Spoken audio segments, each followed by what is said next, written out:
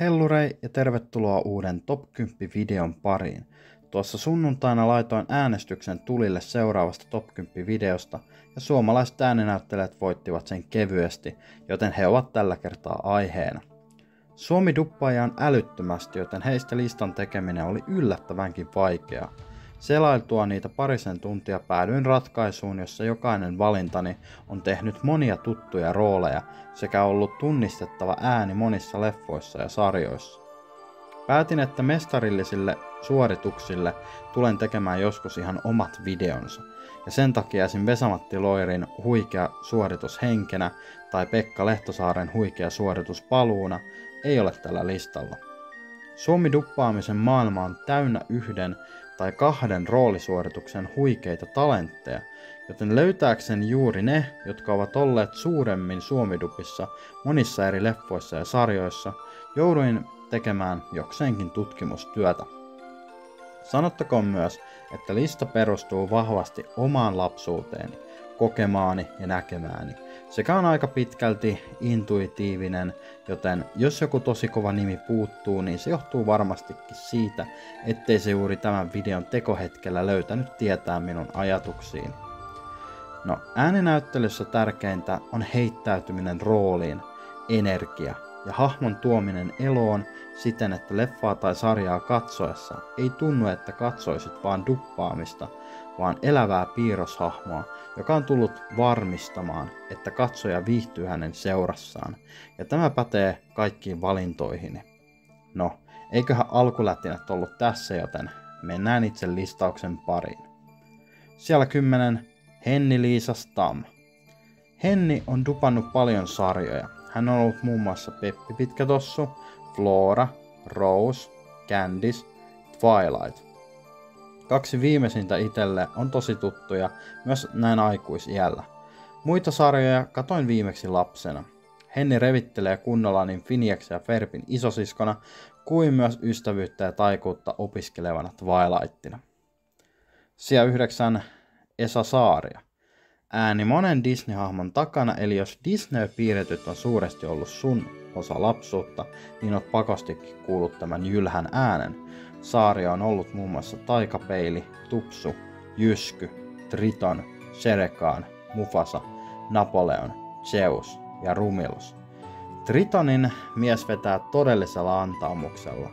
Serkaan kuulostaa tosi hyvältä karismaattiselta pahikselta, ja Zeus, hetki sitten Herkulesin suomidupilla katsoneena, oli älyttömän hauska hahmo.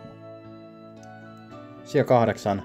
Veikko Honkanen Tämäkin miekkonen tunnetaan paljon Disney-elokuista. Hän on ollut muun muassa Ihaa, Sulttaani, Kapteeni Koukku, Pakheera, Jörö, Sasu, Pikkutassun isoisä sekä Seran isä, Radcliffe ja Jumba. Todella nostalginen ääni jälleen kyseessä. Bakheeraksi Veikko sopii täydellisesti ja Sasuna hän pääsee kunnolla ääneen. Sija 7. Jarkko Tammi.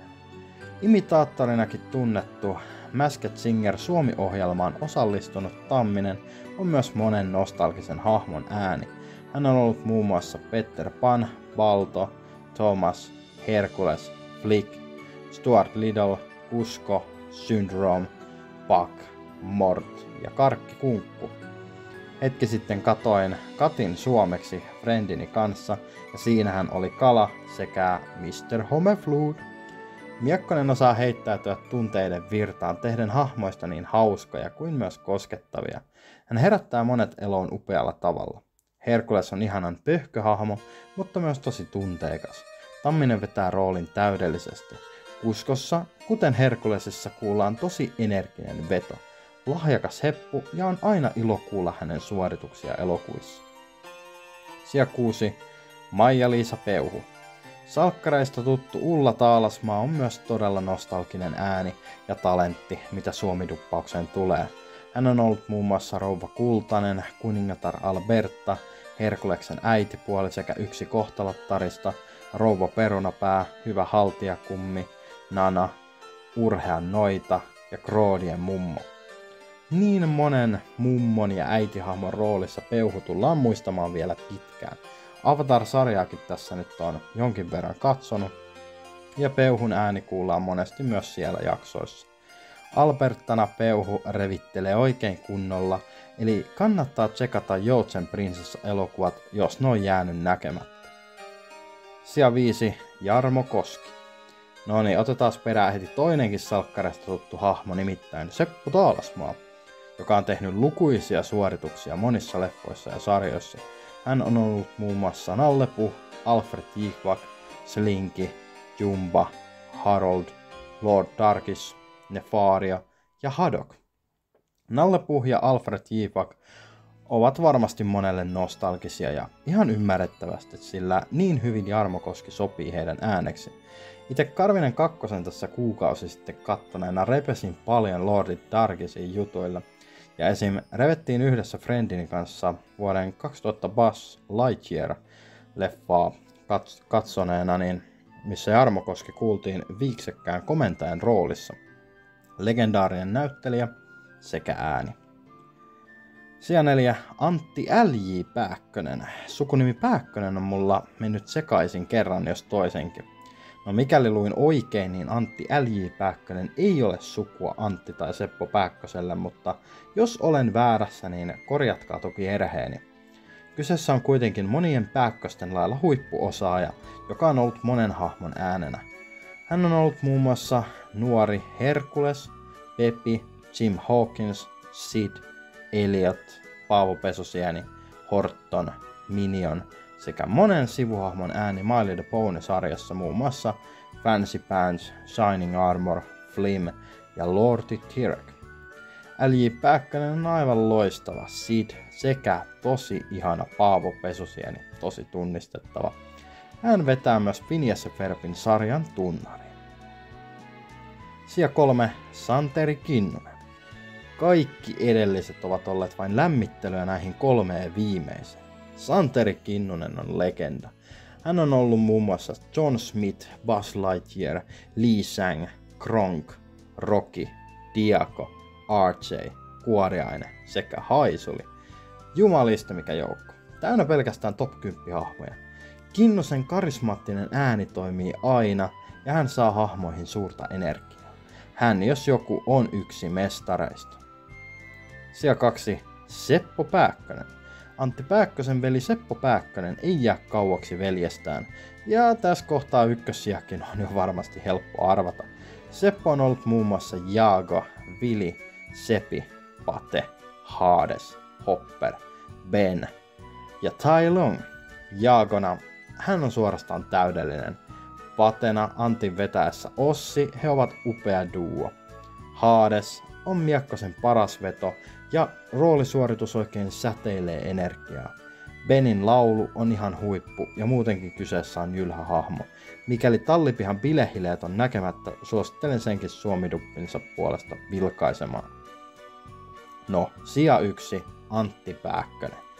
Ei yhtä ilman toista, nämä veljekset on parasta, mitä Suomiduppi on nähnyt. Ja Antti Pääkkönen on kenties ainakin mun mielestä paras suomalainen ääninäyttelijä. Nostalginen ja todella ikoninen. Hän on ollut muun muassa Kaa, Abismal, Ossi, Woody, Nasu, Ling, Jumbo, Sebastian, Mikuel, Masi Pallopää, Manu, Repesorsa, Päiski Vemmelsääri, Rat, Timon, Kuningas Julien, Petri, Srekin Pinokkio, Jalmari Kalmari ja paljon, paljon muita. Mies on legenda. En mä voi muuta sanoa. Hänen pelkästään suorituksesta saisi jo oman top 10 videon aikaiseksi.